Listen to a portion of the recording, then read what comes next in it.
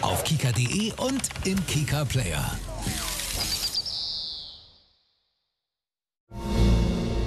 Es war einmal vor langer Zeit im Königreich Candice eine Prinzessin mit Namen Carlotta, die eine Pferdeherde davor bewahrte, eine Klippe hinunterzustürzen.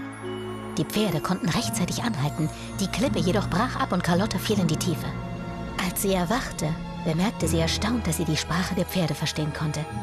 Dies war ein Geschenk, eine Gabe für ihre Tapferkeit und ihre Güte. Zurück in ihrem Schloss schrieb Carlotta ein magisches Buch. Durch dieses Buch wurde die Gabe der Sprache an zukünftige Generationen weitergegeben. Doch Carlotta hatte eine Warnung hinzugefügt. Sollte das Buch jemals verloren gehen, würde auch die Gabe der Sprache verloren sein. Für immer.